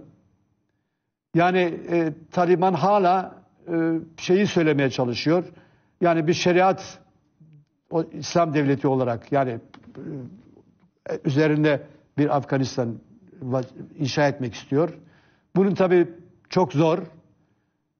Kadınlara belediye bedelinin ödetilmemesi lazım. Kadınlar e, büyük bir e, infial içinde. Acaba yeniden Taliban'dan sonra biz yeniden bunun bedelini ödeyecek miyiz diye. Çok zor bir dönem ama barıştan başka da bir çare yok. E, bir geçiş dönemi olacak. Geçiş hükümeti kurulacak. Ve Taliban'ın da içine olacağı bir hükümet kuracaklar. Umarım e, iyiye gider ama barıştan başka da bir çare yok. Yıllarca taraflar savaşabilir, insanlar ölür ama e, barış gelmez, istikrar gelmez. Evet dünyanın en sorunlu bölgesi herhalde hiç kuşkusuz. Şimdi onu bir de ona belki Yemen'de Çok. Yemen'i de eklemek lazım belki onun e, ucuna. Orada da benzer bir durum e, galiba söz konusu. Peki Hikmet abi şimdi bir şey merak ediyorum. E, senin bunca yıllık tecrüben, e, seni seni bu kadar zamandır e, büyük bir sevgi ve saygıyla izliyoruz. Bir günden bir güne sesini yükselttiğini, biriyle kavga ettiğini, birine bağırıp çağırdığını hiç e, görmedik, duymadık ne iç politikada ne dış politikada her zaman e, ılımlı ama tutarlı bir çizgi e, içerisindeydin. Şunu merak ediyorum. Dış politikada değerli yalnızlık diye bir kavram var mıdır ya da değerli yalnızlık değerli bir şey midir? Yani değerli değerli yalnız yalnızlığın değerlisi olmaz. Şimdi e, Türkiye öyle bir e, noktaya geldi ki e, dünyada yalnız bir ülke durumunda. Hiçbir yani çok aslında ilişki kurmaya çalıştığımız hiçbir İslam ülkesiyle Katar hariç e, bir ilişki yok. Şimdi şeye e, yani Doğu Akdeniz'e bakalım. Mısır'la bakın ben başta şeyi söyledim. İdeolojiye göre dış politika olmaz. Elbette ki Mısır'da askeri ihlal olduğu zaman her türlü tepki göstermek gayet doğal. Çünkü Türkiye layık, demokratik, sosyal bir hukuk devleti. Zaten bizim e, aslında en önemli özelliğimiz yapmaya çalıştık. Tam oldu mu? Soru işareti var. Yani şunu anlatmaya çalıştık. Hem Orta Asya'da hem bütün İslam dünyasına. Hem Müslüman, hem layık, hem demokratik bir ülkeye. İşte bu. Yani bu aslında bütün İslam dünyası içinde bir örnek olur. Özellikle genç nesil için. Yani Müslüman, layık ve demokratik. Şimdi Mısır'la askeri darbe geldiği zaman demin başta söyledim. Hangi ülke çıkarı, hangi ülkenin hangi çıkarı bizim büyük elçilerimizi büyük elçimizi merkeze çağırmak ve karşılığında Mısır'ın da buradaki büyük elçisini çağırması. Bunun ekonomiye, ticarete ve bugün Doğu Akdeniz olayındaki yalnızlığa yol açtı bize. Yol buradan geçti. Mısır niye bizimle beraber değil? İsrail niye bizimle beraber değil? Lübnan niye bizimle beraber değil? Şimdi bir ihmal var aslında. Bir, bir ihmal var. Yani 2003'ten başlayarak Güney Kıbrıs Rum yönetimi yani ben e, aslında tarihleri de vereyim. Bütün şeylerle bu ülkelerle anlaşmalar yapmış. De, de, şeyle yani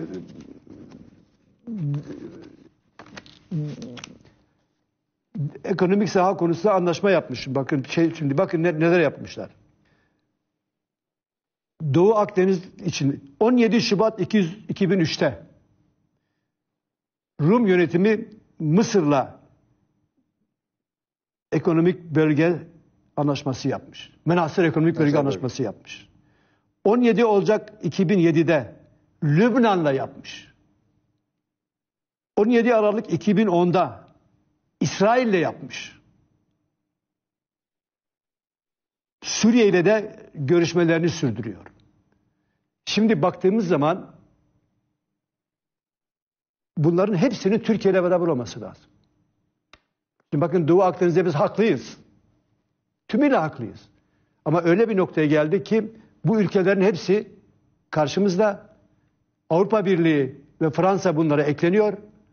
Amerika arkadan destek, Fransa arkadan destek. Böylece Türkiye tamamen yalnız karşısında böyle bir toplulukla büyük bir kitleyle karşı karşıya, büyük bir ülkeyle karşı karşıya. Şimdi e, İsrail'le yani hangi önemli konudan dolayı tekrar ediyorum Filistin'den en başından beri e, onlara ba- bakarak oldu. Bugün Birleşik Arap Emirlikleri ilişki kurdu. Büyük ihtimalle Suudi Arabistan da Hazırlıkta. ilişki kuracak. Üstelik efendim Hazırlık yapıyor Suudi Arabistan kurmak için. İsrail'le Evet. haz- hazırlık yapıyor. Ve biz üstelik de yani 40 49'dan beri tanımışız. Dışişleri Bakanlığı açıklamasıyla niye ilişki kuruyorsunuz diye büyük, büyük Birleşik Arap Emirlikleri'ne karşı bir, bir açıklama yapıyoruz. Fas İsrail sivil uçaklarının gelmesine müsaade etti. Ona da karşı bir açıklama yapıyoruz. Yani bizim her gün uçaklarımız gidip geliyor İsrail'e. Onlar yaptı diye karşı çıkıyoruz. Şimdi yalnızlık olmaz. Yani Türkiye aslında bölgesel işbirliğine liderlik olacak bir. Yani bu demin söylediğim o temel ilkeleri bir tarafta bırakırsak yani e, şeye göre ideolojiye göre değil iç işlerine karışmasan şunu yapmasa bunu yapmasak Türkiye'nin öncül- öncülüğünde önderliğinde e, bir bölgesel işbirliği olabilirdi. 10 bin kilometreden Amerika'nın ne işi var Suriye'de? Daha kuzeyde Rusya'nın Suriye'de ne işi var? Biz 900 kilometre sınır komşumuz olan bir ülkeyle bu hale geldik. Şunu şu gayet açık. Yani bunun için diplomat olmaya falan gerek yok. Bizim güvenliğimiz Suriye'nin güvenliğine bağlı. Yani Suriye ne kadar güvende olursa biz de o kadar güvende oluruz. İki, bizim istemediğimizi Suriye'de istemez. Yani en rahat işbirliği yapacağımız Şam yönetimidir. Yani biz kuzeyde bir yeniden orada bir bağımsız Kürt devleti oluşumu olmasını istemiyoruz. Bunu bizden başka istemeyen kim var? Suriye. Yani Suriye ile ilişkilerimizi neden ilk güvende kez? Neden ben Türkiye bugün halen konuşulduğu zaman işte ilişki var diyor. Şam yönetimi ile neden doğrudan ilişki kurulmuyor?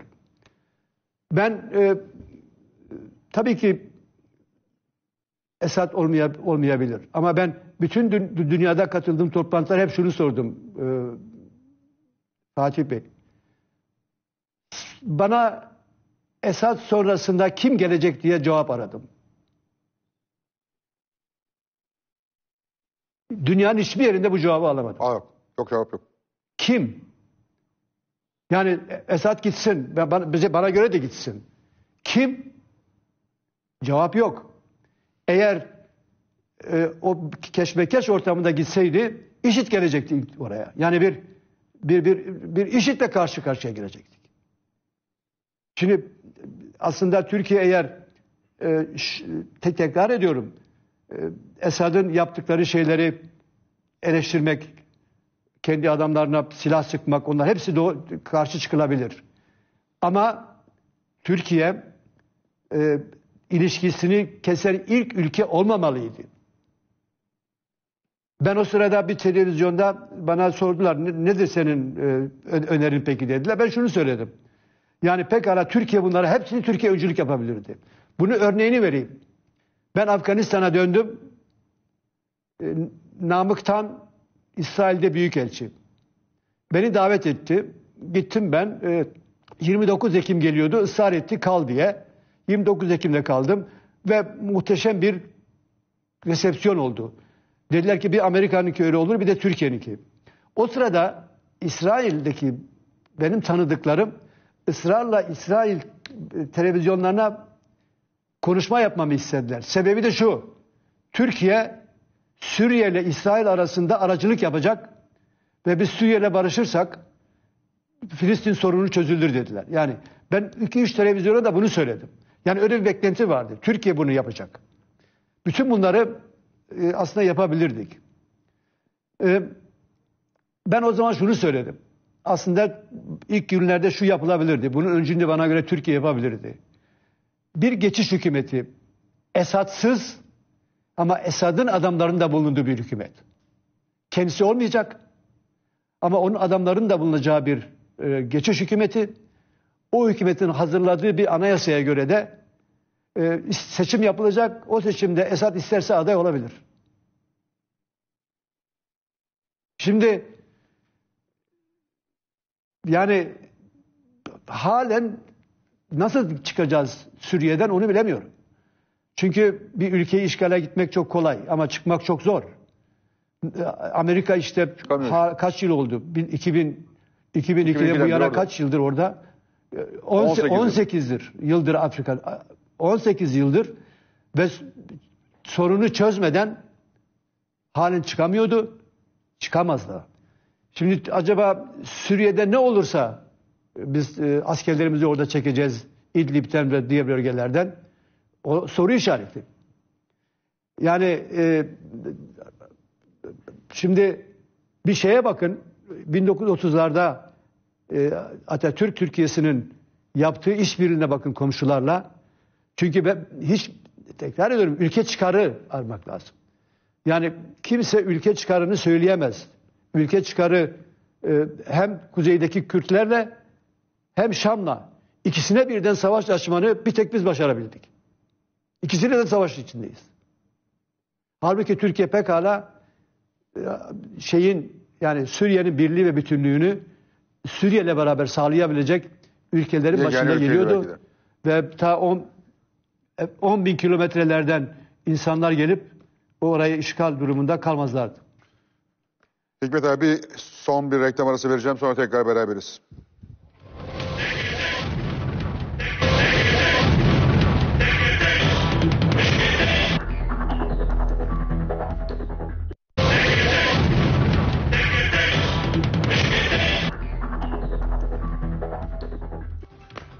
Değerli izleyiciler, Sayın Hikmet Çetin'le sohbetimiz devam ediyor. Zaman nasıl aktı anlamadık ama e, son yarım saat 20 dakikaya girdik. E, Hikmet abi, e, izleyicilerden çok sorular var. E, onların bazılarını da ben e, aktarmak e, durumundayım.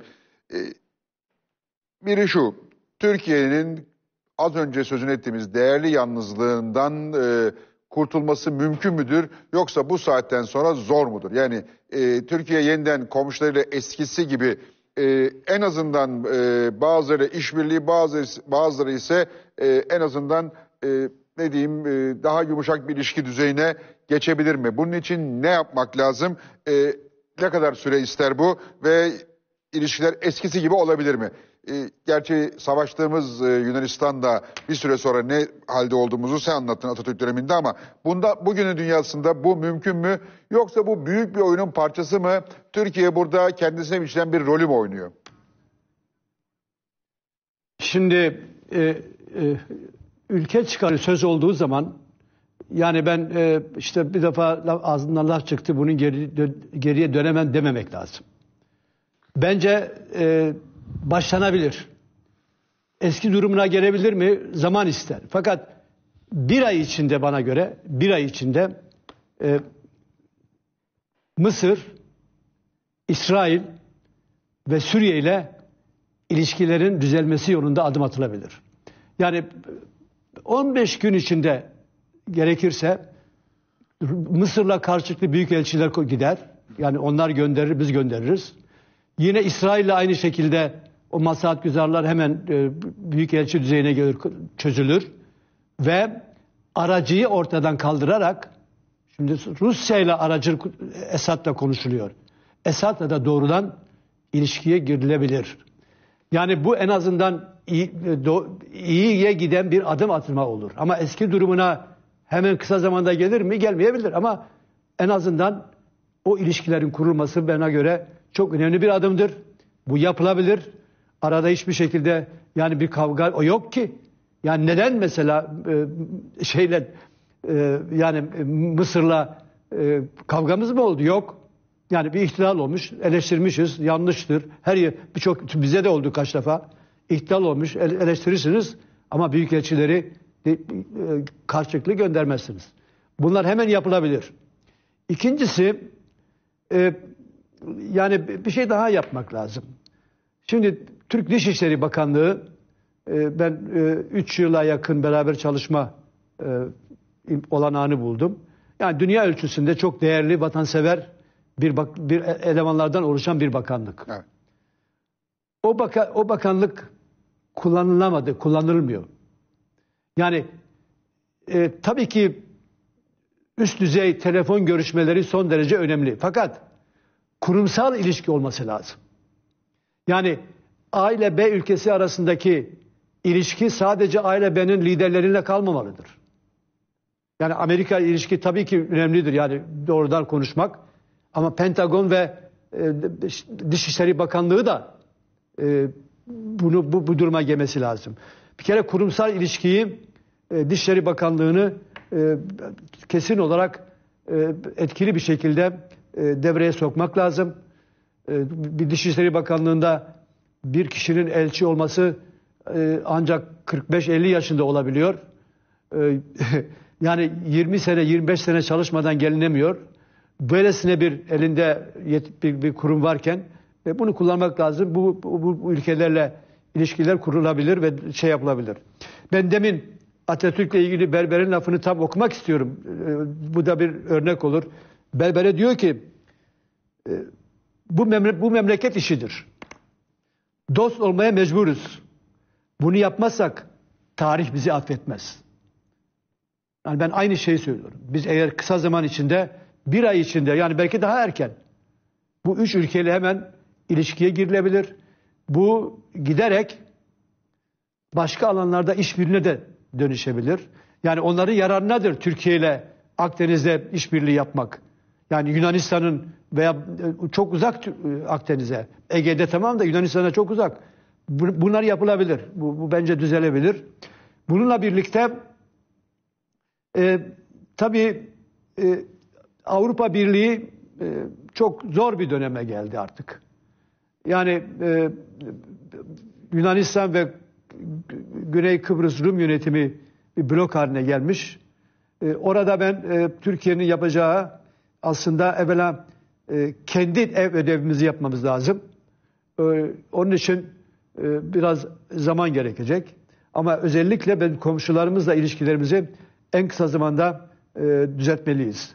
Türkiye e, değinmedik. E, Azerbaycan e, Ermeni konusu. Çünkü önemli bir konu. Ben ilk günden beri içinde olduğum bir konu. Şu sırada ben bir iki şey söylemek istiyorum. E, ilk baştan beri e, e, Demirel e, ilk cumhurbaşkanlarından e, başlayarak onlara söylediğimiz şuydu. E, her ülkenin bir tehdit değer, değerlendirmesi vardır. O tehdit değerlendirmesine göre silahlı kuvvetlerini e, oluşturur ve yapar. Biz size e, askeri eğitim vereceğiz. Yani nüfusunuz yüksek ve bir Tuğgeneral'in başkanlığında ta 1992'den başlayarak bugüne kadar askeri eğitim yapıldı. Ve, ve bugün Azerbaycan kendi bakımından kimse ihtiyaç duymadan e, savaş gerekirse kendisi e, şeyin de e, yani e, İlham Aliyev'in de dediği gibi e, çok rahat bir şekilde yapılabilir. Şöyle bir çözüm olabilir. Yani ben e, bir de çözüm önermek istiyorum. Şimdi Karabağ ve artı yedi tane onların reyon dedikleri illen ilçe e, reyon dedikleri bir yedi yerde işgal altında. Şimdi ilk aşamada ilk aşamada müzakereler başladığı başlar baş, başlarken veya başlamadan önce Ermenistan onların beş tanesinden çekilmeyi kabul edecektir. İki tanesini niye söylemedim? O Laçin'le Kelbecer Azerbaycan'dan şey Karabağ'la Ermenistan arasındaki rayonlardır. İlk beş yerden çekilir ve Karabağ'la o iki yerden çekilmesi için de müzakerelere başlanır. Çünkü e, Karabağ'a yeni bir statü vermek gerekir. Yani e, neler olmaz Karabağ'da? Ermenistan'a bağlı olmaz. E, bağımsız olmaz. Azerbaycan'a bağlı olur ama esnek bir özellik verilebilir. Çünkü orada büyük çoğunluk şu anda Ermeni Ermeni. nüfusu var. E, Orayı terk eden Azeriler gider. O beş yerde yerleşmeler olur. Çünkü bir milyon insan o bölgeden geldi. Ben böyle bir e, şeyle, böyle bir e, uygulamayla bunun çözülebileceğine inanıyorum. Orası Azeri toprağıdır. Bütün dünya kabul ediyor. Şeyin dört tane, Güvenlik Konseyi'nin dört tane kararı var. Genel kurulun da bir kararı var. O, o dört kararın altında imzası olan e, Fransa, Amerika ve Rusya aynı zamanda MIS grubunun eş başkanlarıdır.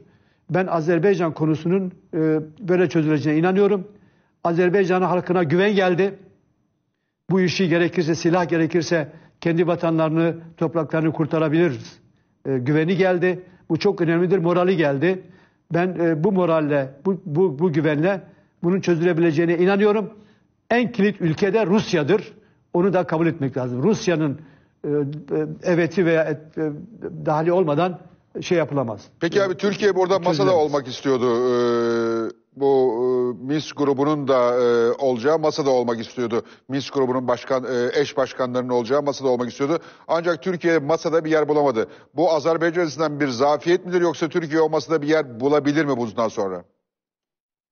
Şimdi e, aslında e, biraz e, şimdi nazik bir konu o. Şimdi e, aslında e, başta bu üç eş başkan yoktu. Benim zamanımda oluşturuldu bu Evet. e, MIS grubu. Avrupa Güvenlik ve İşbirliği Konferansı'nda. Ve fiilen Türkiye çok öndeydi. Bizim o zaman düşündüğümüz e, bir İsveç ya da Finlandiya gibi tarafsız olabilecek ülkelerin başkan veya eş başkan olması gerekiyordu. Fakat sonradan e, bir başka toplantıda bu üç ülke e, e, gündeme gelmiş. Onlar eş başkan oldular. Üçünde de çok yoğun bir diaspora var. Ermeni diasporası var. Türkiye masada e, olması tabii ki olması gerekir ama e, biraz e, bu dış politikayı yürütürken e, biraz onu da söylemek istiyorum. Dil önemli. Ben de onu soracaktım. Tam onu soracaktım ben de. Dil çok önemli. Yani eğer e, bir şeyde aracı olmak istiyorsanız iki taraf da sizi kabul etmesi lazım. Yani o konuda e, tıpkı diğer alanlarda siyasette olduğu gibi e, şeyde de e, yani özellikle dış politikada, e, dış işlerinde dile çok dikkat etmek lazım. Çok önemlidir o. Yani tabii ki Türkiye'de bütün Türkiye'den en birlik içinde Azerbaycan'ın arkasındadır. Yani Türkiye'de ben o e, Zürih protokolleri olduğu zaman e, Sayın Demirel bana dedi ki bu e, halka olmaya başladı. E, sen bir e, Azerbaycan'a git Cumhurbaşkanı'na görüş diye gittim konuştum. Dedim ki Türkiye'de kim hükümet olursa olsun kim yönetimde olursa olsun Azerbaycan aleyhinde hiçbir karar Türkiye'den çıkmaz. Türk parlamentosundan çıkmaz. Bizim e, biz başlangıçta biz Ermenistan'ı tanırken sınırlar açıktı. Ve hatta Van bölgesi falan çok da memnunlardı ticaret oldu diye. O yedi tane rayonu işgal edince sınırlar kapatıldı. Şimdi e, eğer Azerbaycan'ın topraklarına sahip olursa Türkiye, Ermenistan ve Azerbaycan diplomatik ilişki kurulur. Ve Azer büyük kayıp Ermenistan oldu e, Fatih Bey. Mesela boru hatlarının en ekonomik geçeceği yer Ermeni topraklarıydı. Daha kısa yol. Ben bunu 91 yılın e, aralığında Azerbaycan, şey, Ermenistan Dışişleri Bakanı'na o Hoanisyan denen arkadaşımıza e, Brüksel'de söyledim. Bakın dedim büyük bir fırsatı kaçıracaksınız. Bu barışı yapmazsanız. Azerbaycan'ın önemli kar- kaynakları var. Doğal gaz ve petrol. En kısa yol ve ekonomik yol Azer şeyden geçecek. Ermenistan'dan geçecek. Bunu kaybedeceksiniz. Ve oldu kaybettiler. Bugün Azerbaycan hızla ilerlerken Ermenistan'ın gençleri terk ediyor. e, yoksul bir e, ülke durumunda. Hikmet abi yine vatandaşların varsa- izle, izleyenlerin sorduğu bir soru. Dış politikada yüksek ses bir anlam ifade eder mi? Yüksek sesle konuşmak bir güç gösterisi midir? Ee, yüksek ses iyi bir şeydir dış politikada. Bence e, yani e, yüksek ses dış politika aracı değildir. Yani haklı e, bütün mesele haklı ve e, haklı olduğun konuda e, diplomatik dili kullanarak bu bir dil meselesidir. Diplomatik dili kullanarak başarırsınız. Yani e, dış politikada çünkü bir noktada savaşsanız da ilişkilerin barışla bitmesi lazım. Sonsuza kadar savaşılmaz. O, o, o yolun o, o yolun o yolun kapanmaması lazım. Yani e, iç politikayla uğraşanlar o dilleri kullanabilir ama e, diplomasi dili e, bence e, nazik bir dildir. Dikkatli kullanılması lazım E, ve o dilin e, her zaman lazım olacağını e, düşünmek lazım diye e, Ee, karşı karşıya geleceğiz. Ona göre e, dikkat, sonunda karşı karşıya oturmak zorundayız. Ee, bir diğer soru. Ee, işte yani tekrar tek evet e, diğer soruya geçeyim. Ee, Buyurun. Az önce Lozan'dan bahsettiniz Hikmet abi. Ee, o Lozan'la ilgili yine siz de değindiniz. Türkiye'de tartışmalar var. Lozan şöyle, Lozan böyleydi. Ve Lozan'ın yeniden e, tartışılması, Lozan'ın yeniden ele alınması gerektiğine inanan bir kesim var Türkiye'de. Bugünkü koşullarda Türkiye'nin lehine midir Lozan'ı tekrar ele almak, Lozan'ı açmak, Lozan'ın yerine yeni bir anlaşma yapmaya e, kalkışmak yoksa bu tehlikeli ve riskli bir yol mudur? çok tehlikeli ve risklidir. Büyük kazanımlar elde edilmiştir. Yani Lozan Anlaşması imzalandığı zaman sadece Türkiye'yi değil, öyle dış basında yazılar vardı ki o dönemde ben bunlara baktım. Biz Türkiye'yi Avrupa'dan koyar ko- kovmak çalışırken Türkiye bizi kovdu diye yazılar var. Yani o dönemde o koşullarda yapmış dünyada nadir olarak 100 yıldır 100 yıla yakındır yaşayan bir anlaşmadır. Ondan daha iyi koşullarda e, bir şeyin sağlanmasının e, olanaklı olduğunu düşünmüyorum. O bizim e, bir e, bağımsızlık senedimizdir. Yani neyi ondan sonraki şeyleri koruyamadık. Yani bırakınız e, Lozan'ı demin beraberce konuştuk. Yani o, ondan dışında 8 8 tane yer ve bir sürü kayalık veya adacıkları e, kendi toprakları gibi aldılar ve oralara e, silahlandırdılar. Onu bile e, halledemezken neyi değiştireceğiz? Ya mesela ne yapacağız? Yani Lozan- Lozan'ı değiştirdiğimiz zaman neyi sağlamaya çalışıyoruz? Onu da söylenirse belki tartışılabilir. Hangi yöne Ama değiştireceğiz, ne elde edeceğiz? Lozan'dan neyi değiş neyi değiştireceğiz yani? Şey, Çünkü e, kolay olmamıştır Lozan. Yani e, efendim e, Lozan'ın e, çok merak edenler e, çok soruluyor bu sorular bana bazen üniversitede soruluyorlar. E, siyasal bilgilerin mülkiyenin e, uluslararası hocası Seha Meray'ın 8 ciltlik kitabı var. Çok bir şey söylüyor. O kitapta neler yapıldığını ve nasıl mücadele verildiğini e, görmek lazım. Kolay olmamıştır. Yani Evet. Ali, e, Ali Naci Karaca'nın da bir kitabı var. O da fena bir kitap değil. 8 cilde okuyamayanlar için o tek cilt. yani çok var da Çok var. Ya ben ben e, Sehamere kitabı başka bir şey. O çok ama müthiştir o. Peki abi müthiş bir şey oldu. Yani ben de aynı e, Vaktimiz olduk ama son bir soru. Ee, Amerika Birleşik Devletleri'nde önümüzdeki günlerde seçimler olacak e, olabilirse eğer e, o da tartışılıyor.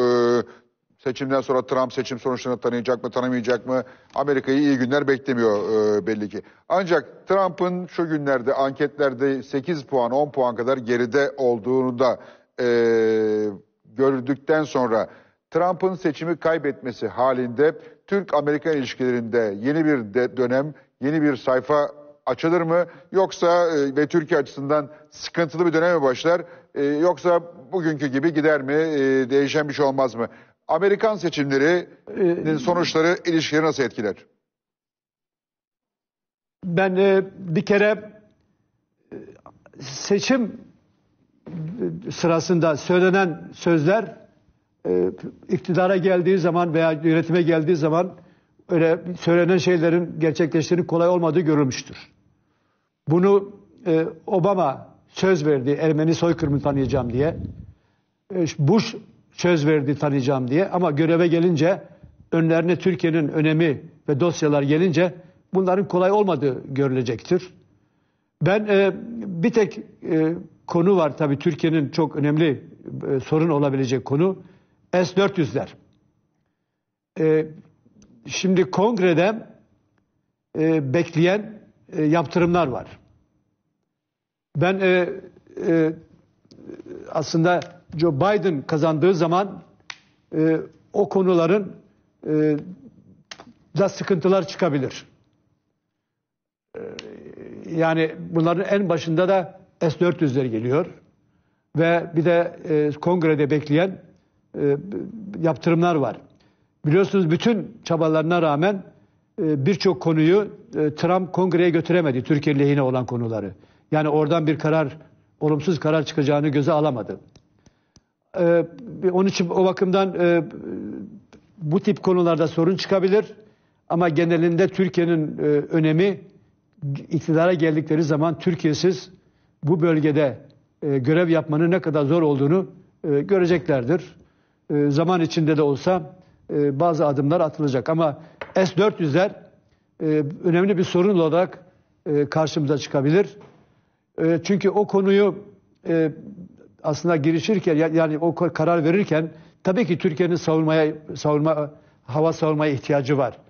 Ama e, çok derin düşünmek gerekiyordu. Yani sonra, olabilecekleri sonra düşünerek karar verilebilirdi. E, yani günün birinde bunun başımıza sorun çıkarabileceği düşünülebilirdi. E, umarım e, olmaz ama ben e, e, şeyde Joe Biden'da o tip konular çıkabilir. Ha kim kazanır o da belli değil. E, yani e, halk olarak halk oyu olarak e, Joe Biden e, kesinlikle benim tahminime göre fazla alır. Tıpkı e, Bir önceki şey olduğu gibi. gibi. E, e, Hillary'de olduğu gibi Hillary 400 milyona 4, 4 milyona yakın yakın oyu fazla aldı. fazlaydı. Fazla aldı ama seçimi kaybetti.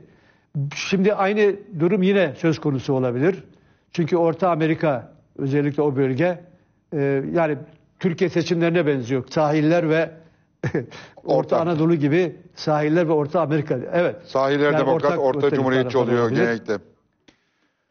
Hikmet abi çok Evet. teşekkürler. Ağzınıza sağlık. Sağ olun, var olun. İyi ki varsınız. İyi ki sizi tanıyoruz. İyi ki size abi e, diyebiliyoruz. E, keşke her her hafta program yapabilsek keşke. E, ama sizin yoğun programınızda kolay değil. E, çok çok teşekkürler. E, inşallah İstanbul'a bir ziyaretinizde de e, şu korona derdi biterse e, stüdyoda sizi ağırlamak, e, daha fazla vakit geçirmek dileğiyle çok sevgiler. Teşekkürler. Ağzınıza sağlık. Ben de çok teşekkür ediyorum. Yani e, çok sevdiğim e, bir arkadaşımla böyle bir söyleşi yapmak bana zevk verdi. E, onun için de zevkle e, katıldım. E, ben de çok teşekkür ediyorum. E, yani olabildiğince bir sohbet yaptık. E, hepimizin konusu olarak düşündük. E, ben de çok çok teşekkür ediyorum böyle bir olanak olduğu için. Ben e, e, bu, bu pandemi böyle bir dönemi bittikten sonra İstanbul'da ilk gelişimde e, mutlaka e, ziyaret daha muhakkak edeceğim. bekliyorum. Birlikte muhakkak oluruz. yani hani program yapmasak Çok yemek çok- yiyelim.